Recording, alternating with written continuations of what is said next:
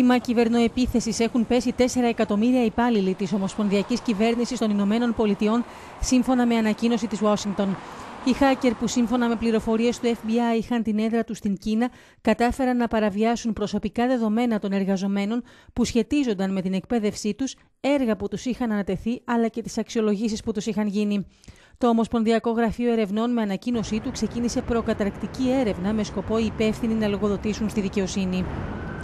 Η έκταση της συγκεκριμένης κυβερνοεπίθεσης έχει προκαλέσει σοβαρά ερωτήματα για το εάν τα μέτρα που λαμβάνονται είναι επαρκή, με δεδομένο ότι θύματα έχουν πέσει τόσο το State Department όσο και ο Λευκός Οίκος.